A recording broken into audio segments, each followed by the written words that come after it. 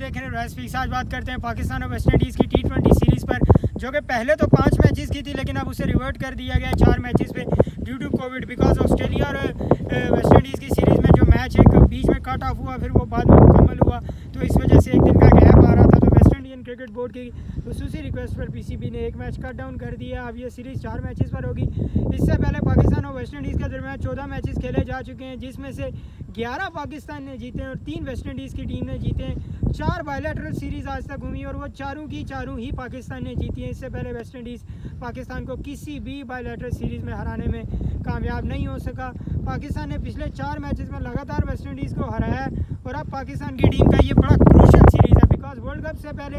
اپنا squad finalise کرنے کے لیے ورلڈ کپ سے پہلے اپنا کمبینیشن فائنل کرنے کے لیے پاکستان کی ٹیم کو یہ سیریز بہت اچھی کھیلنی پڑے گی بیکاز انگلینڈ کے علاوہ پاکستان ٹیم دو ایک سے ہارا اور بڑا بری طریقے سے ایکسپوز ہوا کیونکہ وہ انگلینڈ کی بی ٹیم تھی اور یہاں ویسٹ انڈیز کی ٹیم بہت اچھی فارم میں انہوں نے ساؤتھ افریقہ کے لیے خلاف سیریز تھری ٹو میں اینڈ کی، انہوں نے آسٹریلیا کے خلاف فور ون سے جیتے تو پاکستان کو بہت زیادہ مشکل ہونے والی ہے کیونکہ ویسٹ انڈیز کی ٹیم میں بہت سارے تگڑے پلیئر شامل ہو چکے ہیں۔ اس میں کرس کے لینڈن سیمن زندر رسل لانڈے فلیچر شمن ہٹمائر تو ویسٹ انڈیز کی ٹیم کا اسکوار بہت تگڑا ہے اور پاکستان کو یہاں اپنا کمبینیشن کم از کم فائنل کرنا پڑے گا انہیں جو بینچ اسٹرینتھ ہے وہ بھی چیک کریں محمد وسیم ہے آپ کے پاس سرفراز احمد شرحیل خان ہے شرحیل خان کو ضرور ٹرائی آؤٹ کریں اگر آپ نے پاور پلے کو یوٹیلائز کرنا ہے ورلڈ کپ میں پاور پلے بڑا پاکستان کے لیے کروشل ہوگا اور کیونکہ پاکستان کا جو گروپ ہے اس میں پاکستان کو انڈیا کے خلاف کھیلنا ہے نیوزی لینڈ کے خلاف کھیلنا ہے اور موسٹ پروبیبلی سری لنکا کے خلاف بھی کھیلنا پڑے گا افغانستان کے خلاف بھی کھیلنا پڑے گا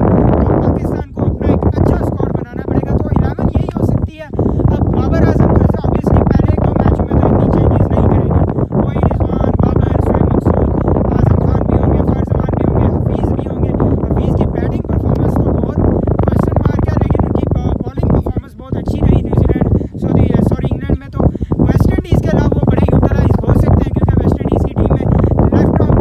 left arm batsman بہت زیادہ ہیں تو پاکستان کی طرف سے محمد حفیظ بہت کروشل رول پلے کر سکتے ہیں کیونکہ کرس گیل کے علاوہ آج تک انہوں نے چھ بالس کی ہیں انٹرنیشنل کرکٹ میں اور اس میں سے تین بار انہیں آؤٹ کیا ہے تو محمد حفیظ کا لیگ لیفٹ آرم